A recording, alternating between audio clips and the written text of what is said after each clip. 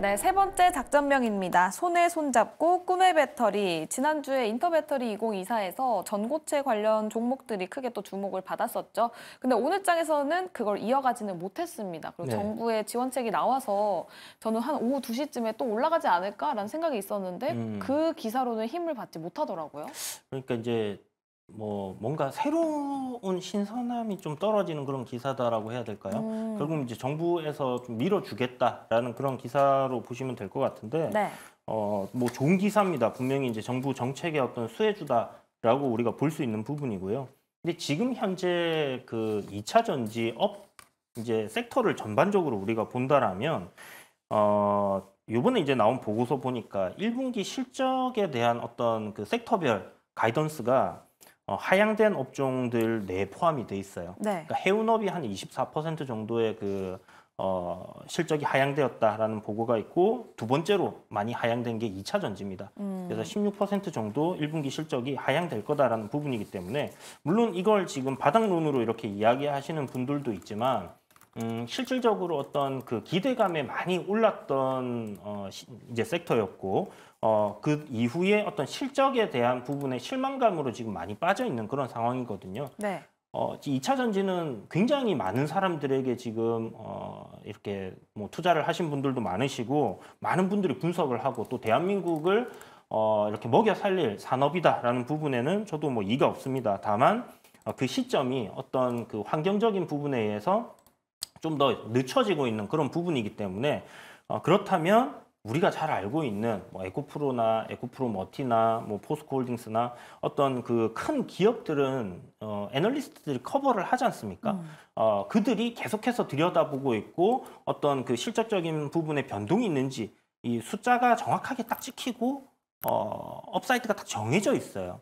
그래서 거기에서 뭔가 새로운 기대감을 갖고 랠리가 펼쳐지기는 좀 어렵다. 음. 어, 그러다 보니까 지금 현재 2차 전지가 많이 빠진 거는 팩트이기 때문에 이런 상황에서 어, 뭔가 꿈과 희망을 끝없이 불어넣을 수 있는 거. 네. 전고체 배터리는 뭐 양산을 한다는 얘기는 있지만 그게 어, 어느 정도 규모로 될지 어. 그리고 이게 실질적으로 가능한지 안 가능한지에서부터 출발을 한 거거든요. 네. 그러다 보니까 뭐 초전도체가 이건 수, 수치로 어느 정도 upside가 있습니다라고 누구도 얘기를 못 하듯이 전고체 배터리 역시 지금 현재 시장에서는 뭐 가능성이 별로 없어요. 대중화되기 힘들어요라고 얘기하시는 분들은 있지만 어, 그들이 이 수치에 대해서 정확하게 지금 나올 수 있는 그런 가이드라인이 없다라는 거죠. 그렇기 네. 때문에 어, 전고체 배터리가 하나의 어떤 테마성으로 사람들의 꿈과 희망을 먹고 주가가 뻗어나갈 수 있는 유일한 2차 전지 섹터 내 음. 종목들이다라고 생각을 합니다. 알겠습니다. 그럼 2차 전지 내에서 전고체 그중에서 보시는 탑픽 따로 있으십니까? 어, 일단 대장주는 레이크 머티리얼이에요. 신고가를 갱신을 했, 했는데 어, 어제 오늘자로 이게 이제 단기과일 지정 예고에 음. 걸렸거든요. 그래서 네.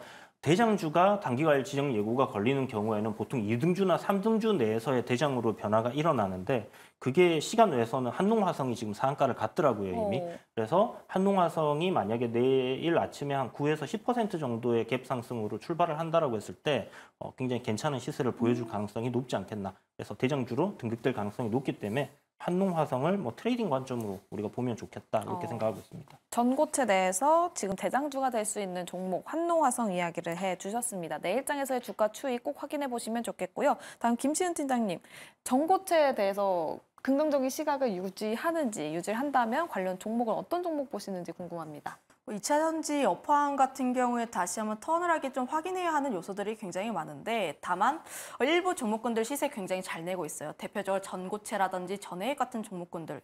어, 이런 종목군들 같은 경우는 시세를 굉장히 잘 끌어내고 있고 그리고 외국인과 기관의 수급이 잘 들어오고 있습니다. 어, 그런 부분에서 보게 되었을 때 이런 어, 시세 굉장히 잘 내는 종목군들 단기 trading 전략은 유효하다라고 보여지고 있고요. 앞서 이야기를 한 것처럼 대장주가 지금은 레이크 머티리얼즈라는 종목이에요. 네. 어, 물론 관련했을 때 단기 과열이 예고되어 있긴 한데 이 부분이 풀리게 된다면 다시 한번 또 대장으로 치고 올라갈 가능성이 굉장히 높습니다. 어, 저는 대- 좀 단기 트레이딩으로 접근하실 때는 좀 웬만하면 1등주 혹은 2등주까지 좀 접근하시는 게 맞지 않을까라고 보여지고 있어서 어, 레이크 머트리얼즈 주가가 굉장히 큰 폭의 상승세가 나왔을 때 오히려 조정이 나오게 된다면 어, 좀 신규 매수 접근으로도 가능하지 않을까. 다만 27,500원이라는 라인대를 좀 강하게 훼손하지 않는 게 가장 중요하다라고 보여지고 있고요. 거기다가 더해서 이 기업이 2차 전지 전고체뿐만 아니라 반도체 전고체에서 이미 실적을 내고 있는 기업이라서 어. 어, 좀 뒷배가 어느 정도 있다라고 생각을 해 보시면 좋을 것 같습니다. 거기다가 어, 전고체 좀 순환매 사이클이 돌고 있는데 CSI라는 기업도 있어요.